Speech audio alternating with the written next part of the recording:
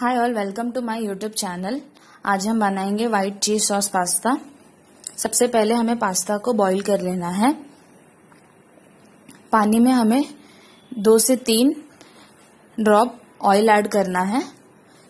इसके बाद pasta add कर देंगे। इसे पाँच से दस मिनट के लिए हाफ़ कुक करेंगे।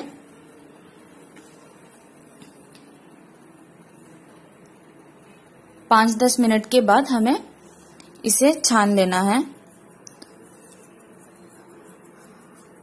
पास्ता में ऑयल डाल देंगे ताकि वो एक दूसरे से चिपके नहीं। इसके बाद हमें पैन में दो चम्मच बटर डालना है। गार्लिक एंड चिली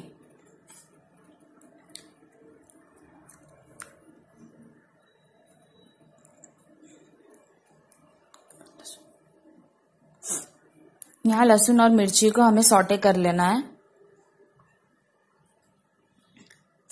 दो से तीन तीन मिनट बाद।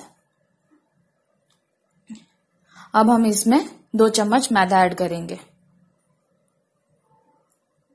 अब इसे रोस्ट कर लेना है। जब इसका हल्का सा कलर चेंज हो जाए, इसके बाद हमें इसमें दूध ऐड करना है। यहाँ मैंने हाफ़ लीटर मिल्क यूज़ किया है।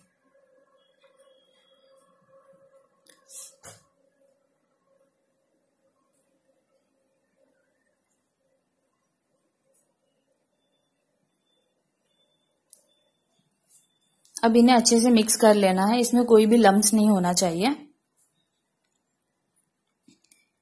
थोड़ा सा पानी ऐड किया इसमें मैंने।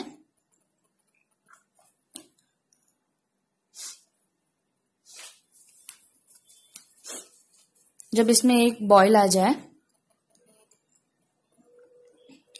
अब इसमें हमें black pepper chilli flake and salt add कर देंगे।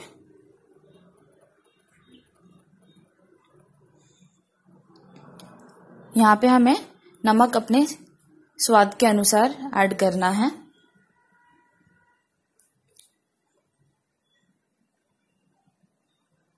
अभी सभी चीज़ों को मिक्स कर लेंगे। अब यहाँ पे हमें ऑरिगेनो ऐड करना है।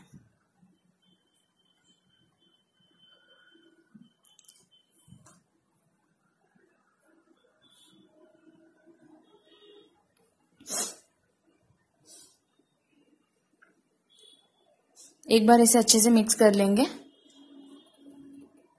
फिर इसके बाद हमें बॉइल्ड पास्ता ऐड करना है।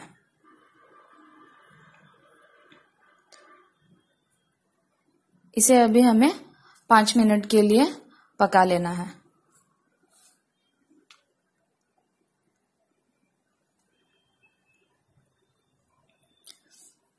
अब मैंने चीज़ क्यूब्स डाले हैं यहाँ पे। यहाँ पे हम चीज़ को ग्रेट करके भी डाल सकते हैं।